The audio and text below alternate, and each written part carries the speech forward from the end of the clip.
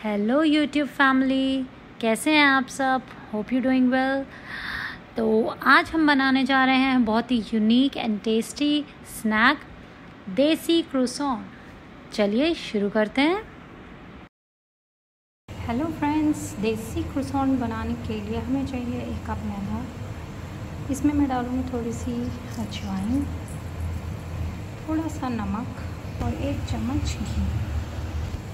अब हम इसका बढ़िया सा डो तैयार करेंगे। थोड़ा पानी डाल के इसका डो तैयार करेंगे।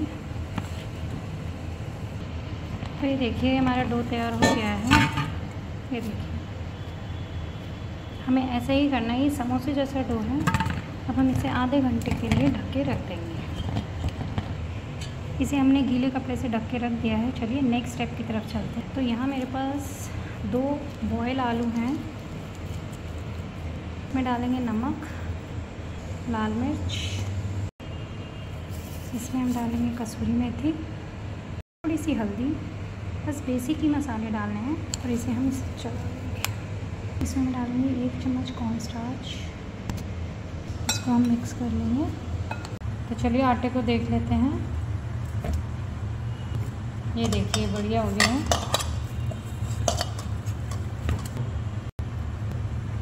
ये बिल्कुल जैसे समोसे का आटा होता है ना, देखिए।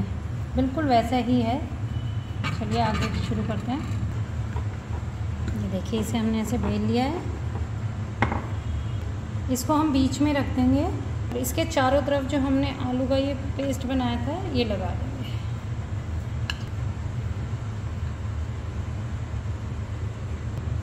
अब हम इसे हटा देंगे। अब हम इसे पिज़्ज़ा के शेप में काट देंगे।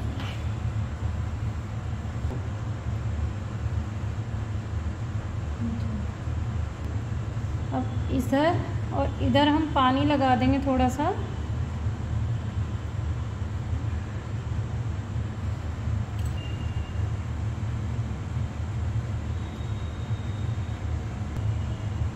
इसको हम ऐसे फोल्ड कर देंगे।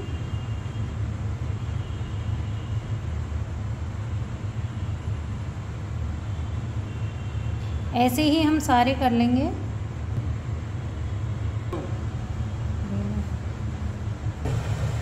ये घी हमने गरम कर लिया है।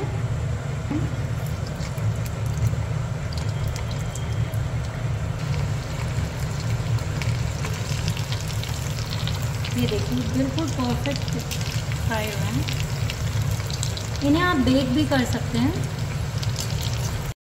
तो ये हमारे बन गए हैं देसी क्रूसों अब चाय पार्टी होगी फुल ऑन जब साथ में होंगे।